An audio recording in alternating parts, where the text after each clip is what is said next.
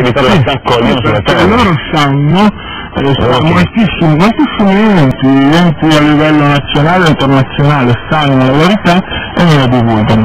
Loro vogliono praticamente smuovere le coscienze, lo fanno in un certo atteggiamento, in una certa maniera, E dopo e poi ci attaccano. poi non è che attaccano, c'è l'incontro, è l'incontro per evolversi.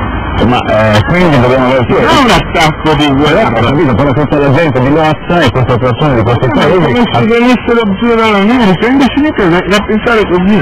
Senti Gennaro, io ti lascio